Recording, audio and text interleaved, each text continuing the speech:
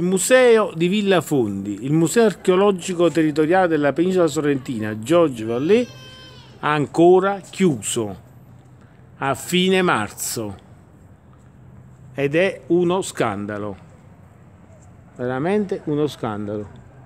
Si avvicina la stagione turistica, ormai ci sono turisti dappertutto, anche il porto si prepara ma il museo è chiuso.